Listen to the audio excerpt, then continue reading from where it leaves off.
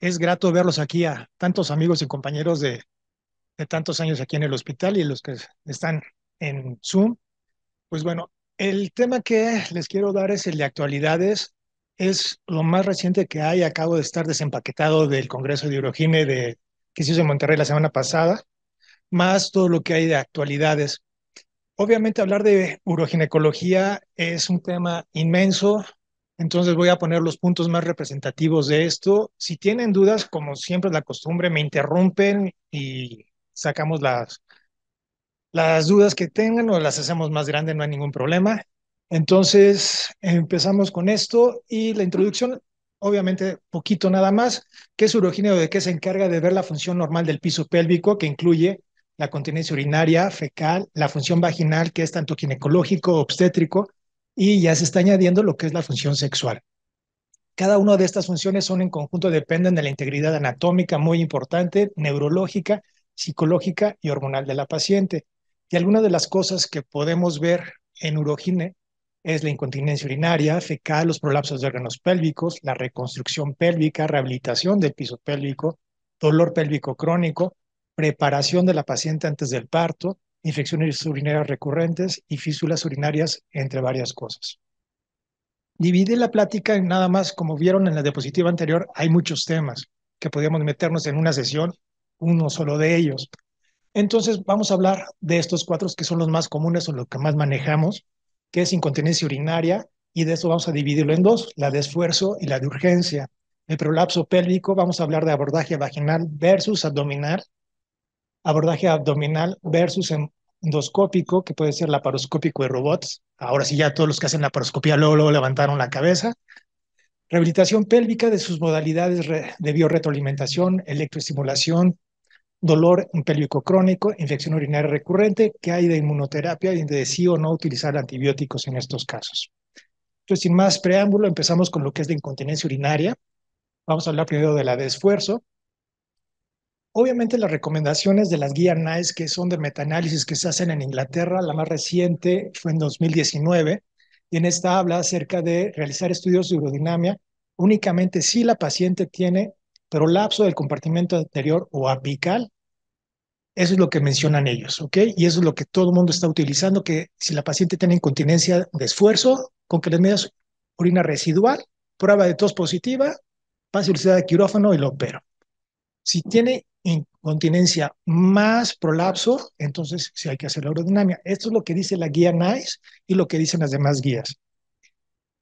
Pero actualmente, ¿qué se dice? Todo el mundo hemos tenido alguna paciente que cumple estos requisitos, entramos a quirófano y después de quirófano, ¿sabes qué? Como que no orina la paciente. Híjole, le corregí el cistocele, le puse una cinta le hice un burch y ahora no orina. ¿Qué onda? No, pues déjale su cinta, su sonda tanto tiempo, vemos si después orina y se puede tardar una semana, dos semanas y después puede orinar. ¿Qué es lo que pasa? Nos presentó una doctora de España su casuística y ellos han encontrado 30% de detrusor hipotónico en estas pacientes con incontinencia de esfuerzo. ¿Qué quiere decir? Que el 30% de las pacientes van a tener un detrusor hipotónico. ¿Por qué entonces orinan bien antes de la cirugía y después de la cirugía no, no orinan? Porque la mujer no tiene ninguna resistencia de salida. Entonces, si no tiene sostén de la uretra a la salida, como es la incontinencia, ¿qué va a pasar? Pues se sienta, relaja y se sale. Pero si nosotros hacemos una reconstrucción de piso pélvico o le ponemos una obstrucción de salida, que es la cinta, o un bucho, un cabestrillo, ¿qué va a pasar? No va a poder orinar. Entonces, ¿esto de qué nos va a servir?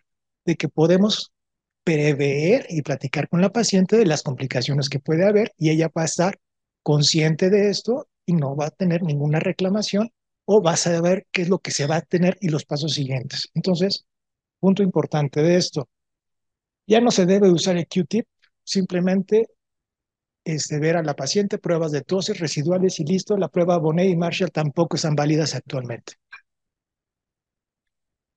Esta es una publicación que sale en el 2021 y 2019 acerca de los procedimientos que se estuvieron haciendo en Inglaterra.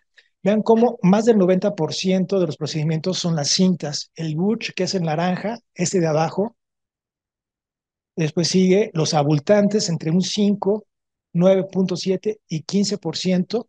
de cómo se están utilizando. Y lo que es cabestrillo de fascia prácticamente ya no se está realizando en Inglaterra. Entonces, ¿qué es lo que más se está utilizando para incontinencia? Cintas. Entonces, si vemos las diferencias entre Butch y cintas, estos son dentro de estas revisiones de la bibliografía que encontramos. Un Butch abierto laparoscópico contra cintas, los costos de 4 mil dólares contra 2.500 dólares de una cinta. Éxitos, eso es lo que nos tenemos que basar. ¿Qué tanto le va a servir a la paciente? Un Butch abierto, vean, a los 5 años tiene un éxito del 68 al 88% y a los 10 años de un 52%. ¿Qué quiere decir? Que la mitad de las pacientes que le hagamos un Butch, lo más seguro que en 10 años ya no le funcionó. Si comparamos ahora contra las cintas, a los 5 años del 85 al 92% van a estar todavía funcionales y a los 10 años un 70%. Entonces, si lo vemos a largo plazo, ¿qué le va a convenir a la paciente?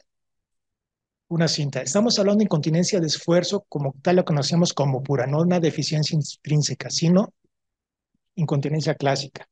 Ventajas, obviamente, va a disminuir todos estos tiempos, desventajas, no hay diferencia de complicaciones perioperatorias y sí va a haber un poquito más de problemas de vaciado. Por eso tenemos que evaluarlas prequirúrgicamente de forma adecuada.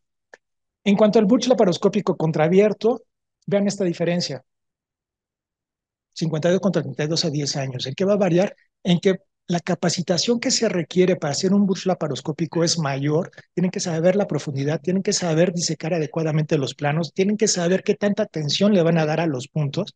Entonces, es mucho más latoso la curva de aprendizaje en un bus laparoscópico que en un buch abierto. ¿Ok? Entonces, si van a decidir hacer un buch, que sea abierto. Si van a hacer un laparoscópico, mejor ponen la cinta, vas a tener mejores resultados, menos gastos y la paciente va a ir mucho mejor. Entonces, las cintas suburetrales van a tener grandes tasas de, éxito, pocas complicaciones. La vía transobturadora tiene la misma eficacia que la retropúbica, sí, cuando se trata de incontinencia urinaria clásica, ¿ok? Múltiples estudios de metaanálisis de esto hasta para aventar. No apoyan el uso de minisling, por favor, lo que se llaman las incisiones pequeños o minicabestrillos, que son los únicamente que entran en vaginas de una sola incisión, no sirven, tienen tasas de éxito menor a esto. Entonces aquí lo podemos ver cómo van desde un 90, 94, 85%.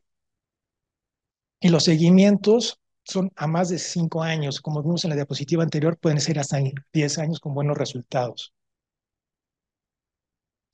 Obviamente hay varios que me han comentado, oye, ¿y cómo está toda la anatomía? ¿Cómo la puedo pasar?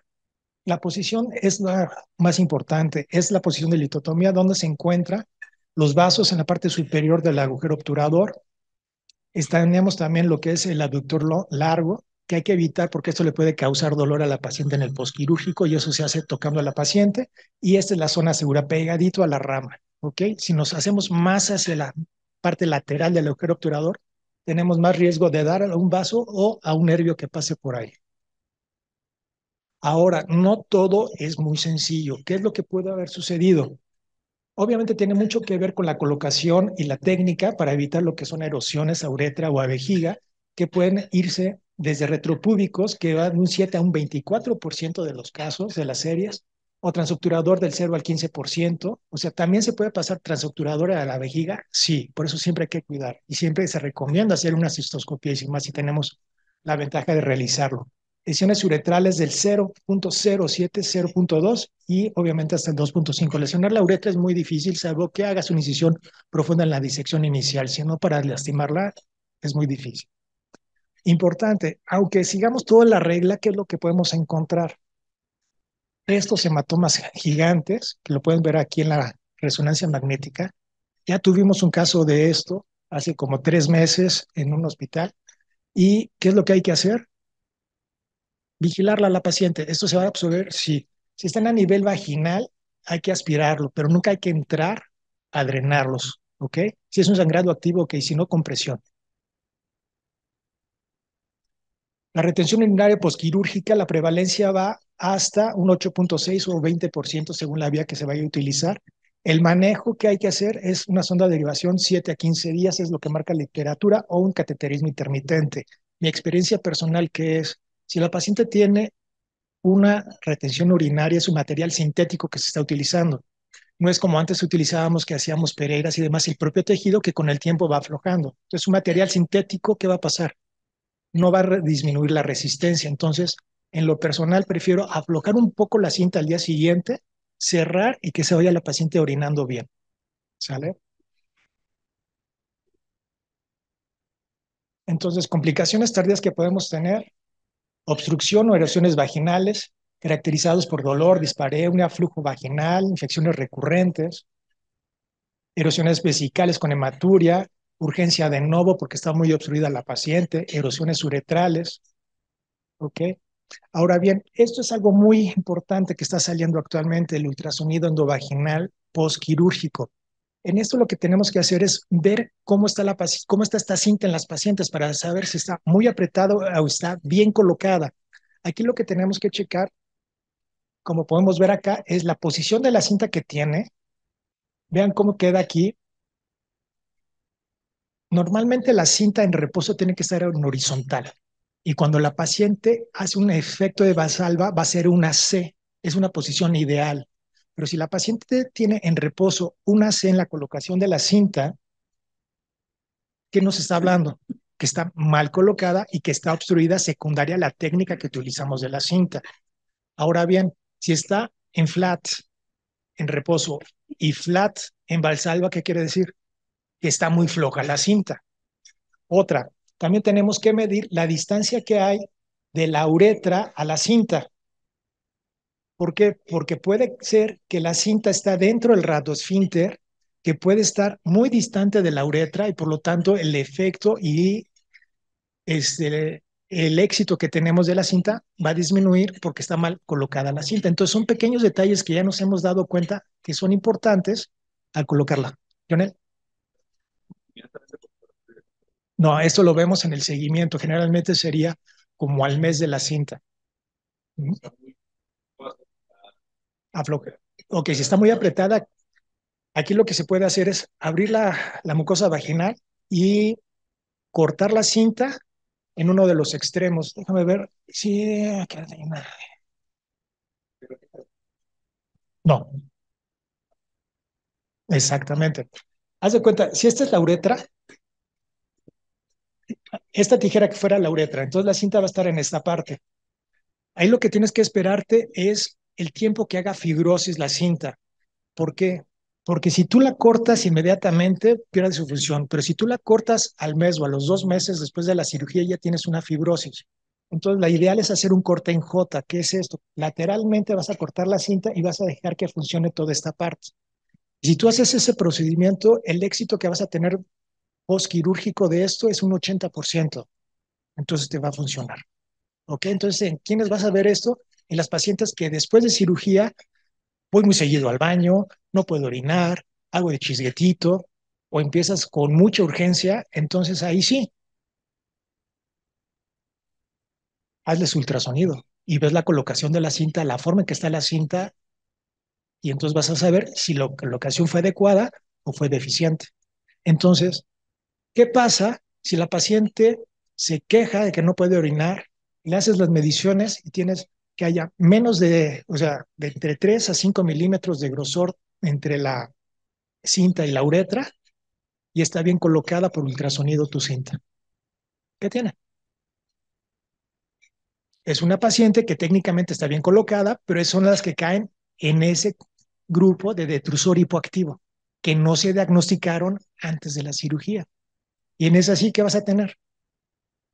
Su cateterismo intermitente, no te va a quedar de otra.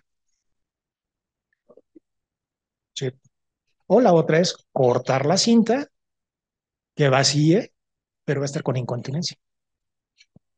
¿Ok? Y aquí varía, ¿por qué?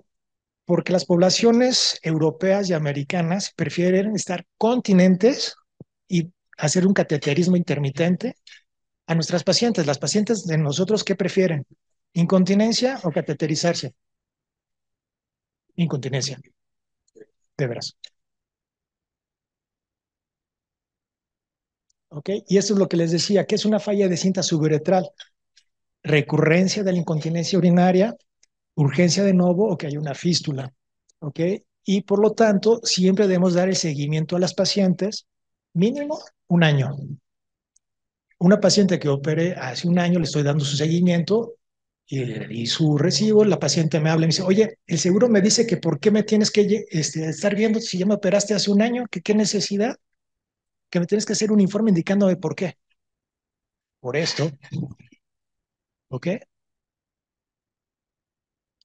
Entonces, también se han visto distintos factores de riesgo para la recidiva o por la falla de la cirugía de incontinencia, que son mayores de 25 de índice de masa corporal, que tengan incontinencia urinaria mixta, que tengan cirugías previas, que tengan deficiencia del esfínter. Entonces, hay que diagnosticarlos bien, porque si le ponemos una cinta transobturadora y tiene deficiencia intrínseca, no va a mejorar, porque necesitamos mayor obstrucción a la salida.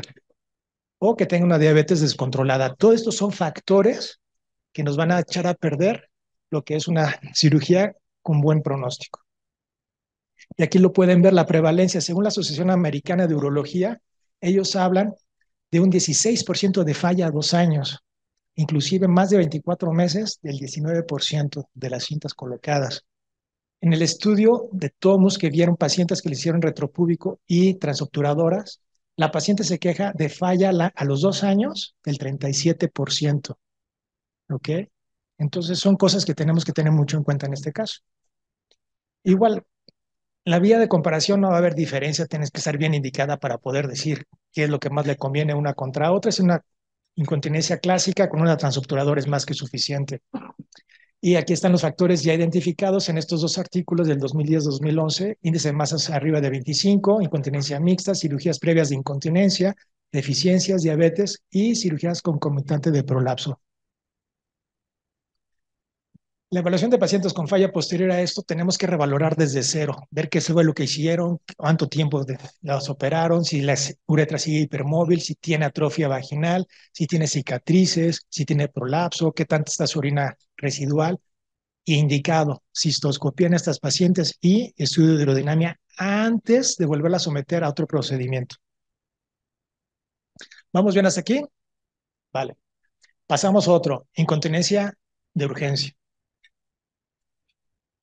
Me voy directo al tratamiento. ¿Por qué? Porque ya las sabemos diagnosticar. Son pacientes que van más de 10 veces al baño, se levantan en la noche, pueden fugar, se les puede ir desde gotitas, se pueden vaciar la vejiga completamente.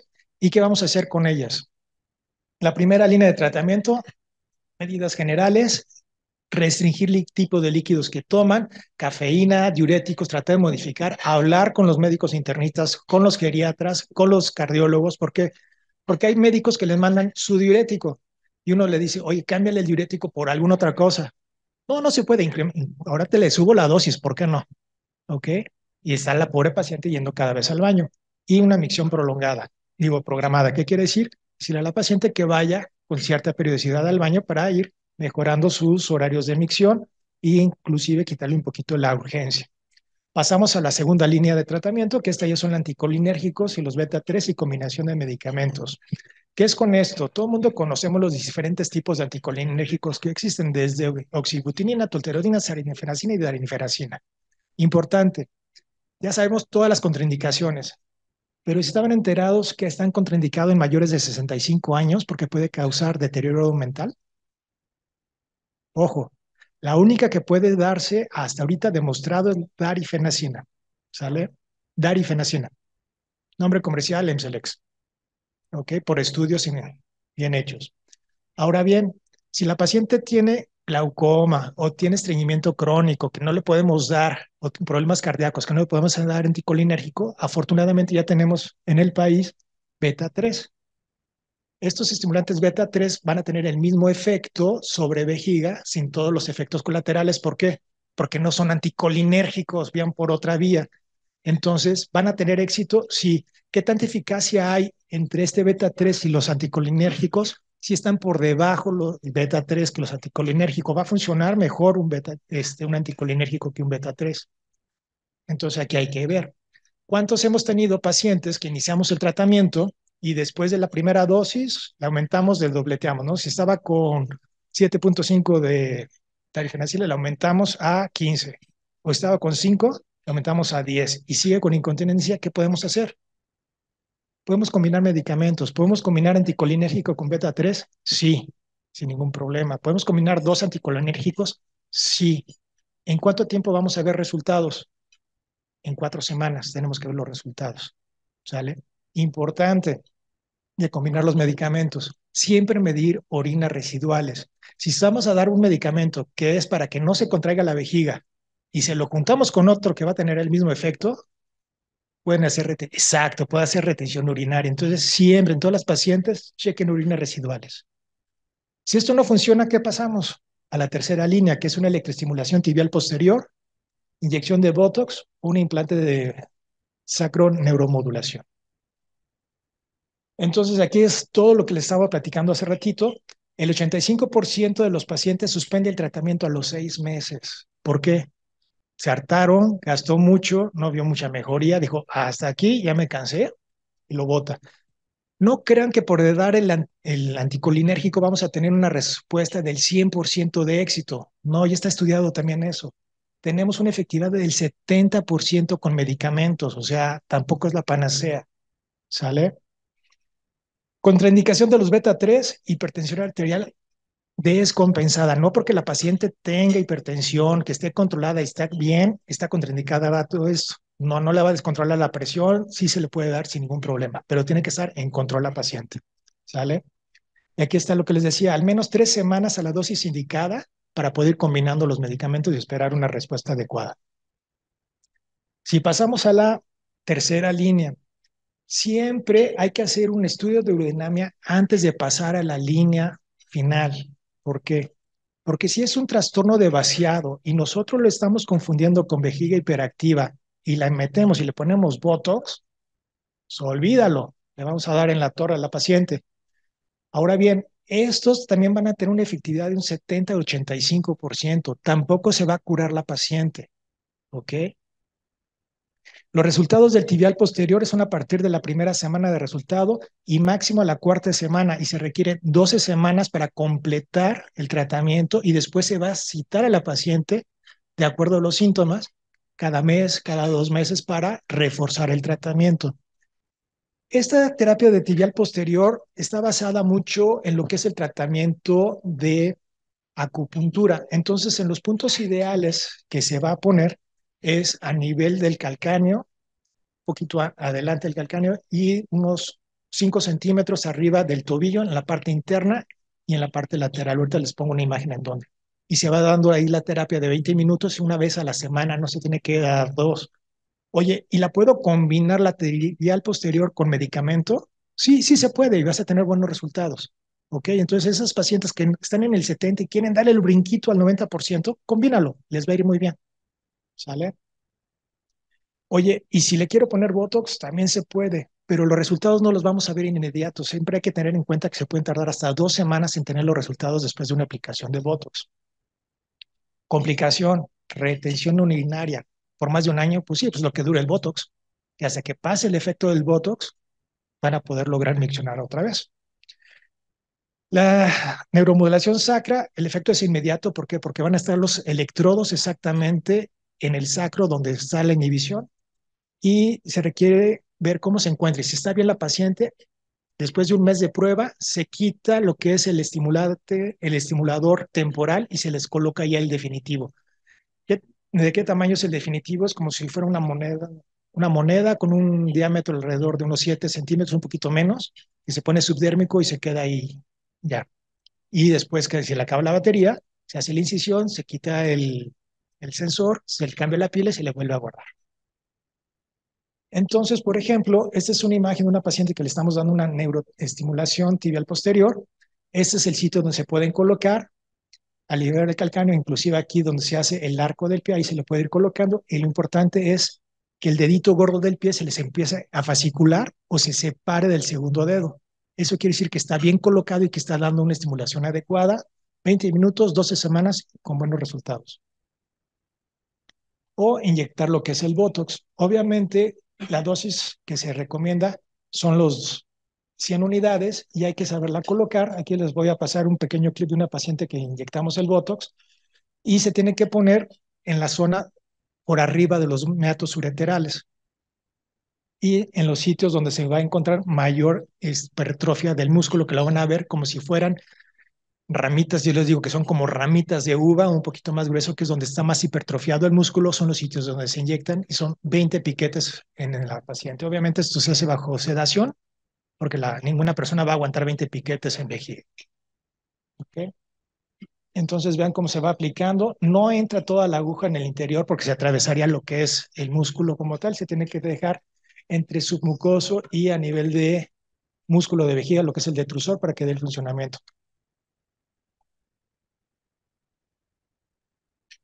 ¿Ok? Muy bien. ¿Vamos bien hasta ahorita? Perfecto. Vamos a pasar a la otra, que es el prolapso pélvico. Entonces vamos aquí a comparar las diferentes técnicas. No me voy a meter que si el punto de Kelly ya sabemos que no se debe de hacer. Una colpo anterior de un prolapso grado 2, una colpo anterior bien hecha, no nada más plicatura central, sino hay que ver si se hace corrección para vaginal o únicamente central. Vamos a irnos a lo que es lo más padre, defectos apicales de cúpula, ¿no? O prolapsos uterinos. Obviamente, como uroginecólogo, tenemos que conocer de forma adecuada cada una de las estructuras y componentes de la pelvis para poderlas conjuntar y trabajar en una armonía como un solo elemento. Entonces nosotros debemos entrar para conocer tanto la anatomía, la función y la estética de la paciente, si entramos por vagina, si entramos por abdomen, por cualquier vía para saber dónde están estructuras y en dónde las tenemos que ir a recolocar. Si entramos a ver únicamente lo que es el prolapso de nivel 1, o sea, lo apical, lo que está arriba, tenemos ya sea prolapso uterino y prolapso de cúpula. Esto puede ser tratado ya sea por abordaje vaginal, un abordaje abdominal o laparoscópico, ya sea con histerectomía vaginal, suspensión uterina sacroespinoso, suspensión de la cúpula sacroespinoso a heliocoxigio, usando mallas o no, esteropexia o una colposacropexia, ya sea abierta o por vía laparoscópica. ¿Sale? Si no me equivoqué, sí se pueden usar las mallas todavía, no están contraindicadas, ¿ok? Únicamente cuando son en recurrencia exclusivamente, no de primera instancia. Entonces, la decisión crítica para el procedimiento va a depender del grado de prolapso, si está asociado o no a incontinencia urinaria, la tecnología que tengamos disponible para operar a la paciente, la economía de la paciente, que esa es otra, y la habilidad quirúrgica con las que se tiene. Para cúpula vaginal, vamos a hablar de las dos, la sacrocolpopexia y la reparación vaginal. Factores de recurrencia del prolapso. Ninguna cirugía te va a curar al 100% al seguimiento. Puedes tener reincidencia, sí. ¿Qué tanto? Varía de un 10 a un 15%, ya sea abdominal o vaginal, bien realizadas. ¿Ok? Se habla que la sacropexia en pacientes menores de 60 años y que tengan vida sexual activa es la mejor. ¿Por qué? Porque vas a tener una vagina larga, no la vas a recortar. Y ahorita van a ver la diferencia de estos términos. Antes lo que hacían en comparar la sacrocolpotexia con colpo anterior y posterior, recortabas mucho lo que es vagina y dejaban vaginas de 5 centímetros. ¿Suspendidas bien? Sí, pero de 5 centímetros. Por lo tanto, la vida sexual de las pacientes se iba a la borda. Por eso se hablaba que la mejor era la sacropexia. ¿Por qué? Porque con las mallas que pones por vía abdominal, la fijas al sacro y dejabas una vagina de 10, 12 centímetros sin ningún problema.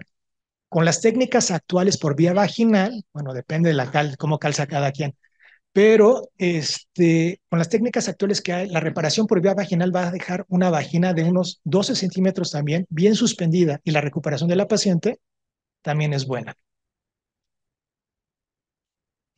Si comparamos una contra otra, la ventaja de la sacrocolpopexia versus la vaginal, el tiempo quirúrgico va a ser mayor, obviamente, la sacrocolpopexia, se van a tardar un poco más en incorporarse en su vida diaria y mayor problemas de fequetados. Lo que nunca se habla de esta contra esta es el porcentaje que hay de la malla de erosión de intestino. El porcentaje de erosión intestinal que puede haber una sacropopotexia en la literatura mundial, en las mejores, es de un 8% más o menos. Entonces, lo dejas cubierto, pero de eso no quiere decir, porque la misma erosión de la malla puede lastimar el peritoneo. ¿Ok? Entonces la gran pregunta es poner... No, te raspa el intestino. ¿Ok? Esto es la nueva evolución que hay Obviamente ustedes habían escuchado de lo que es el capio, que era un portagujas automático, que era como una C, que le ponías un hilito, ibas a la sacroespinoso o al iliocoxigio, lo activabas y te pasaba la sutura en una sola mordida y lo anudabas en donde tú quisieras. Salió del mercado y llegaron esta tecnología que son de arpones. Estos arpones se colocan por un cilindro y se va a llevar al ligamento sacroespinoso. Se va a perforar el ligamento sacroespinoso, se va a dejar el anclaje por eso tiene en esta parte estos ganchitos. Entonces, si tú lo jalas, no se va a venir. Y tiene una polea en la parte distal y por ahí pasa una sutura de prolene. Esta sutura de prolene la vas a tú amarrar a la mucosa vaginal y vas a hacer una suspensión a sacro espinoso de toda la cúpula vaginal sin recortarla. Entonces vas a tener que una vagina larga, ¿ok? El siguiente es un video de una paciente que hicimos aquí en el hospital hace tres semanas y le hicimos una histeropexia con fijación a sacroespinoso utilizando esto.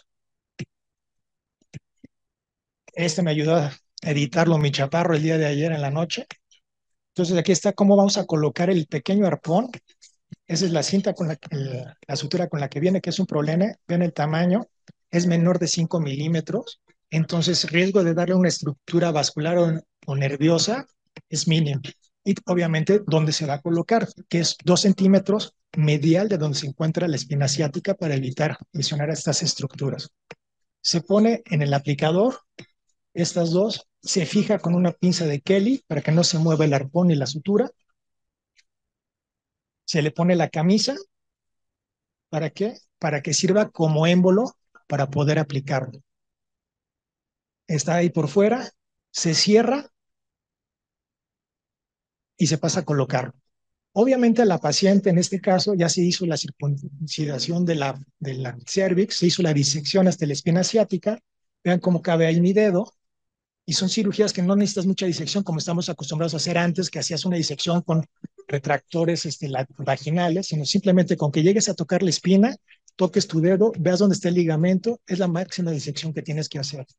Entonces aplicas, identificas, ves en dónde se debe de hacer, presionas el arpón y está colocado.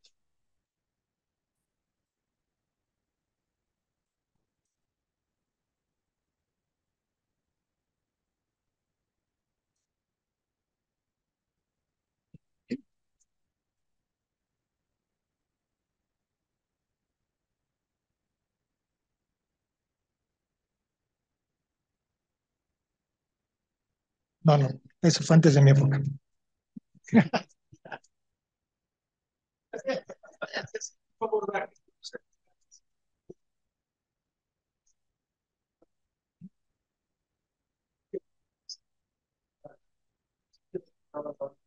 Te recortaba la vagina, necesitabas mayor exposición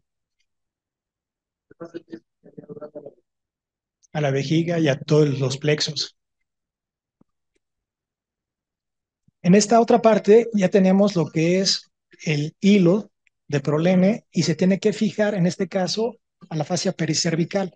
Entonces le damos dos pasadas con la sutura del mismo prolene que está abajo y entonces ya está todo ahí anclado. Cerramos lo que es la mucosa vaginal. Vean cómo está aquí todavía, se ve el prolapso que está teniendo porque, porque todavía no lo anudamos.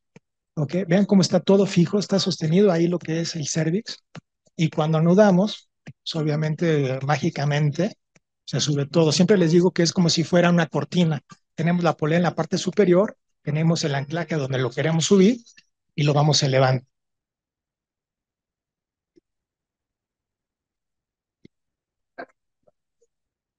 La tensión lo va subiendo con el dedo, lo vas llevando. ¿Hasta dónde? Hasta arriba. Se dice que idealmente tiene que chocar tejido con tejido. Para que, para que el prolene que es fijo se vaya hasta arriba. ¿Ok? Y por contacto te vaya haciendo fibrosis del tejido vaginal con el ligamento. Es como hacían antes el Nichols. ¿Ok?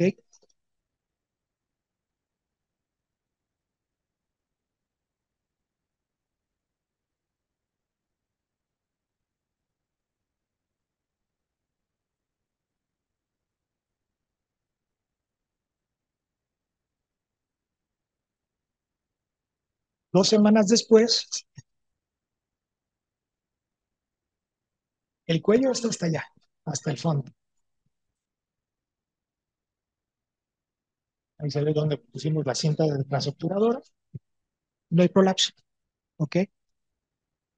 En la siguiente son imágenes, esas no las grabé. Son nada más fotos. Obviamente, post-histerectomía vaginal. Vean dónde está la cúpula. Se hace el mismo procedimiento en forma bilateral.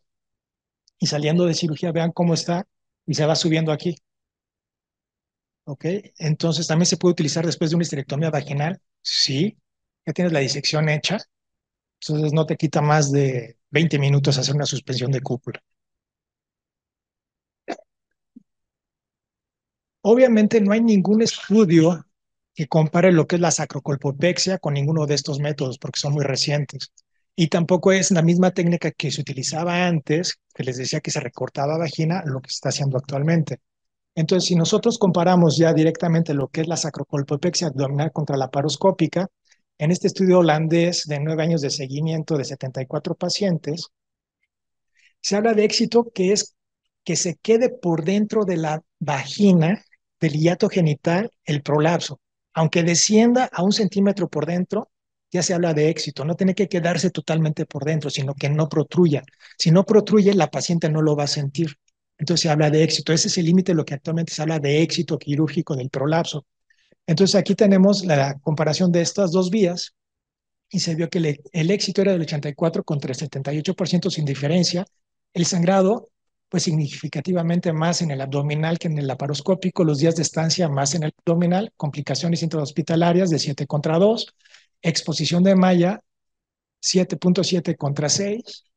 Y vean esto, 26% de reintervenciones. O sea, no es ninguna cosa noble la sacrocolpopexia.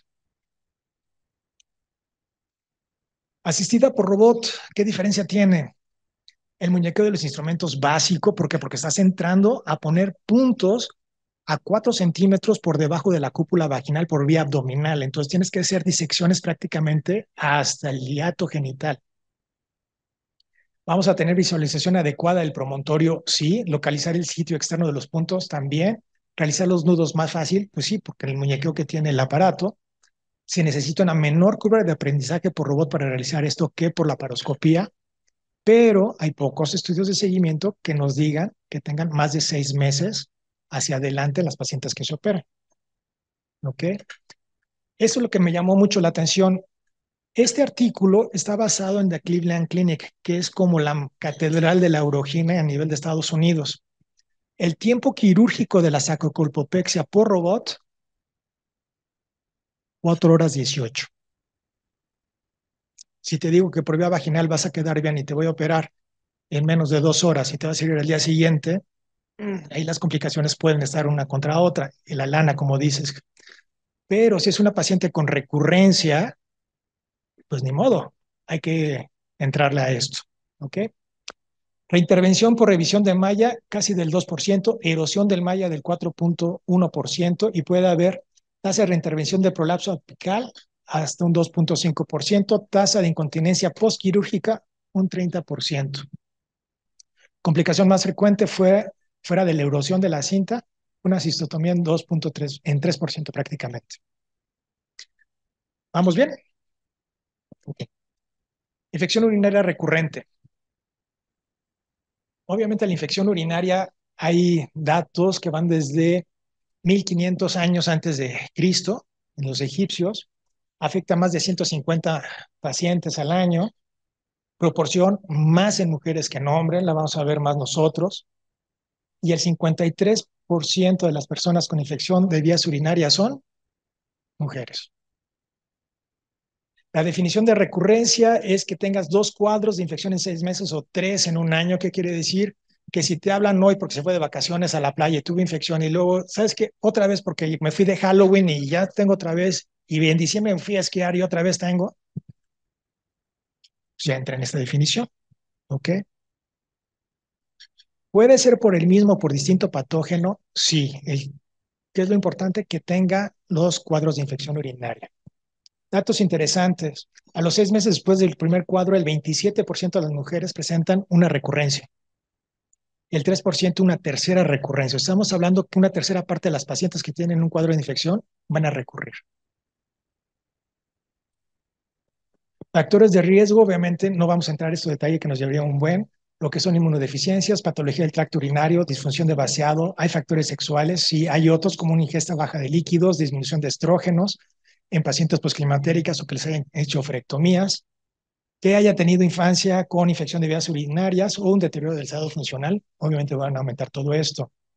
Factores de riesgo, esta me gusta mucho, que vaya siempre la paciente a hacer pipí después de tener relaciones sexuales. Perdón. La forma del aseo genital que tiene que ver, duchas vaginales, que si se mete en tina, que si usa tanga en lugar de boxers, o que si está gordita en lugar de flaca. Falso. No hay ningún estudio que te diga que funciona o qué es esto, ¿ok? Son anécdotas, son asociaciones, pero no hay ningún sustento de que realmente esto sea verídico. Oye, es que en mi consulta, sí, en tu consulta, que yo lo he visto, sí, sí lo has visto, pero no hay ningún papel que diga que realmente funciona. Exactamente. Obviamente hay condiciones a considerar en todas estas pacientes. ¿Cuáles son? Que tengan problemas de vaciado, número uno. No nos quita nada hacer un ultrasonido y ver qué tanto se le queda de orina a esta paciente el pH de la orina, si está ácido alcalino. Recuerden que la paciente tiene que tener orinas ácidas. ¿Para qué? Para que mate todos los bichos. ¿Qué tan susceptible es la paciente a infectarse? Que si la mamá lo tuvo, la hermana lo tuvo, pues lo más seguro que va por ahí. Infección agregada. ¿Saben ustedes que el 40% de las pacientes que tienen infección recurrente tiene clamidia o plasma micoplaza? Ojo. Si es paciente climatérica, hay que darle sus estrógenos, obviamente, para que, para que haya una lactobacilos adecuados y por ende no se vaya a contaminar. El grado de inflamación que tiene la paciente. Si ustedes le hacen un tacto a estas pacientes por vía vaginal tocando vejiga, les puedo apostar que más del 30% les va a decir que les duele. Inflamación crónica. O alteraciones anatómicas con un cistocele. ¿Ok? Si nosotros analizamos cuánto le sale a una paciente gastar de antibiótico profiláctico y de tratamiento, nitrofrantoína, cefalexina y fosfomicina. Esto lo realicé hablando, metiéndome a internet a ver en farmacias del ahorro, San Pablo y todas estas de cadena. La paciente de cinco días de tratamiento de nitro, prácticamente mil pesos. Cefalexina, 760. Fosfomicina, 429. Y si le vas a dar profilaxis de una de estas pastillitas diarias durante seis meses, hasta 10 mil pesos. ¿Ok? Entonces, si le sumas estos 10 mil, más los urocultivos de control, más las consultas, más los estudios, más los quién sabe qué, es una mina, ¿ok? Lo que va a gastar la paciente. El dar antibióticos profilácticos no es cualquier cosa, no es de que no le vaya a pasar nada, sí les va a pasar. Puede darles gastritis, rash, distintos grados de reacciones alérgicas. Las sulfas se pueden causar desde necrólisis epidérmica tóxica, un síndrome de Steven-Johnson.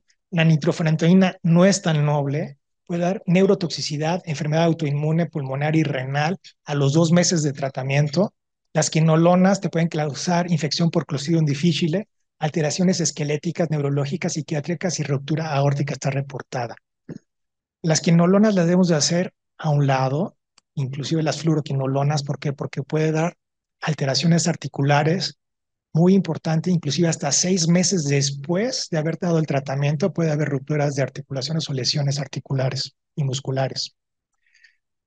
La resistencia de antibióticos, las bacterias, en Canadá en 2018 el 24% de las infecciones vías urinarias son causadas por bacterias multiresistentes. Dato importante.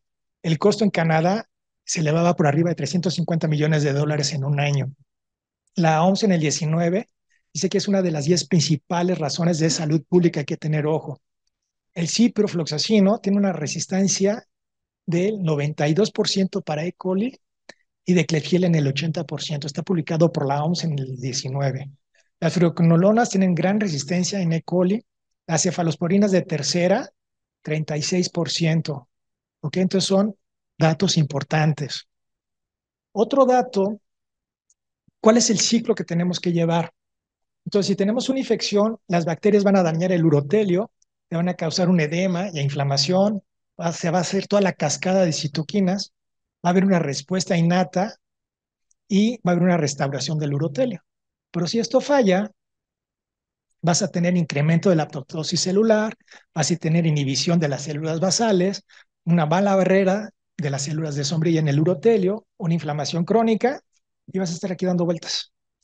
Eso se traduce fácilmente. Tienes infección, te vas a inflamar.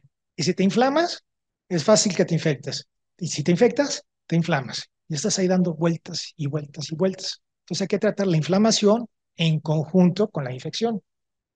Entonces, la infección recurrente vamos a tener daño epitelial, vamos a tener una respuesta aumentada de los leucocitos TH2, una disminución de los TH1 y va a entrar la recurrencia. Esto, ¿qué vamos a hacer para motivar nuestro sistema inmune? Es importante, actualmente en las guías, tanto de la Asociación Europea de Urología como la americana, en las pacientes que no están embarazadas, que no son diabéticas y que tienen infección de vías urinarias, las tratas. Y si tú le pides cultivo y sale positivo, pero la paciente está asintomática, ¿qué? no le das nada. Exacto, muy bien. ¿Por qué? Porque vas a causar resistencia y no tienes ninguna ventaja del tratamiento a la paciente. tienes que esperar a que la paciente esté sintomática para darle tratamiento. Ay, pero ¿a poco voy a dejar a la paciente con la bacteria ahí adentro? Sí, deja que vaya respondiendo a su cuerpo. Está en esta relación de la bacteria con el cuerpo de la paciente. Únicamente si hay síntomas se da tratamiento. Importante.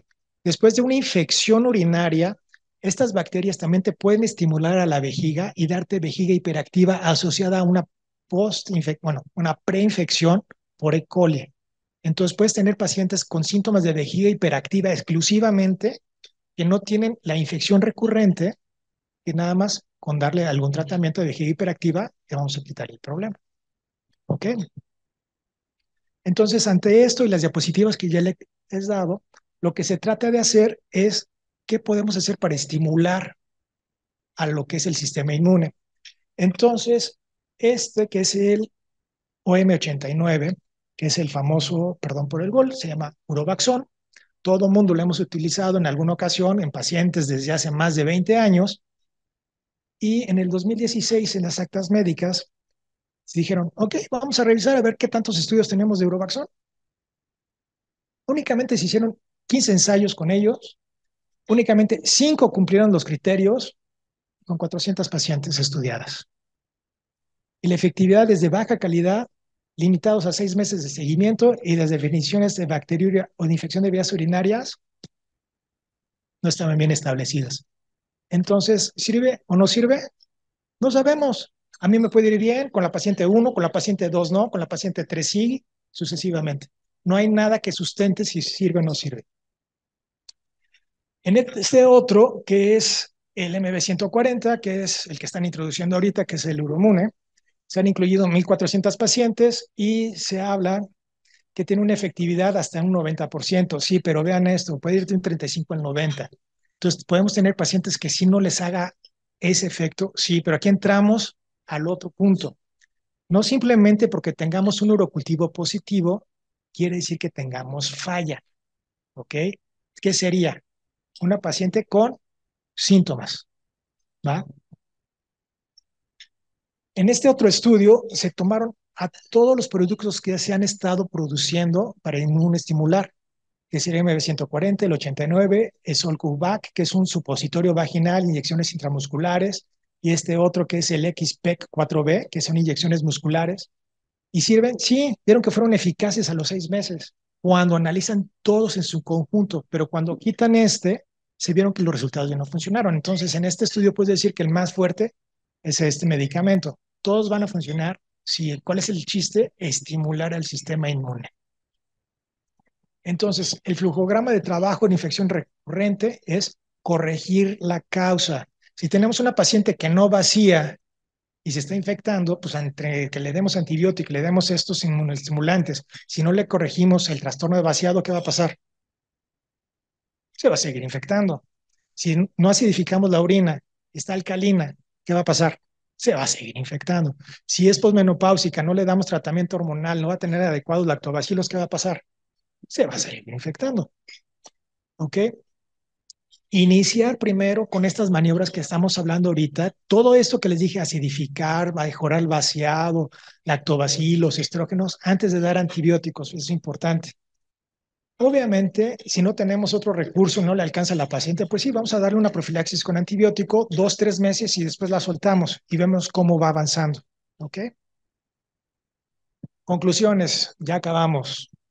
Para la corrección del prolapso se deben considerar tanto la vía abdominal como vaginal para poder ofrecer a la paciente el mejor tratamiento quirúrgico para el prolapso fecal, tomando en cuenta peso de la paciente, edad de la paciente, recurrencia del prolapso, longitud vaginal que se le puede dejar a la paciente, condiciones médicas concomitantes que pueda tener, cirugías previas que ya tiene, cuántas veces se le ha operado de cuerpo a esta paciente y la actividad sexual que va a tener. Evaluar con urinamia, y se lo puse a todas las pacientes que van a entrar a cirugía por incontinencia urinaria, a todas. ¿Por qué? Porque no saben, si un 30% es mucho o es poco, es mucho. Van a estar con un intrusor hipoactivo. ¿Para qué te arriesgas que te vaya a hacer un trastorno de vaciado y que tú estés sufriendo después de será mala técnica? Ahora, ¿qué le voy a hacer? Si tú entras sabiendo que puede haber ese riesgo, la paciente también, y no te va a reclamar nunca nada, y deja sustento, ¿ok? El manejo de incontinencia urinaria de urgencia debe ser escalonado por línea de tratamiento, medidas generales, misiones este, con horario, después pasas a medicamentos y la tercera línea. Las cintas suburetrales son el tratamiento de elección para incontinencia de esfuerzo y es el mejor tratamiento por arriba del 80% a 5 años. No existe actualmente un estudio aleatorizado prospectivo a largo plazo que compare la sacrocolpopexia laparoscópica contra suspensión a sacroespinoso con no existe. Infección de vías urinarias recurrente, hay que ofrecer terapia sin antibióticos en primera instancia y únicamente iniciar antibióticos en pacientes sintomáticas. Reflexiones finales. Conocer los diversos manejos uroginecológicos que existen en la actualidad, saber las tasas de éxito y falla de cada uno y las complicaciones tanto tempranas como tardías, explicarlos con detenimiento a nuestras pacientes, darnos el tiempo de 10, 15, 20 minutos, una hora, no importa, pero que esté la paciente consciente de qué es lo que va a esperar. Y poder elegir entre ambos el mejor procedimiento, dadas las características de antecedentes de la paciente, para obtener los mejores resultados y sobre todo expectativas reales. Muchas gracias.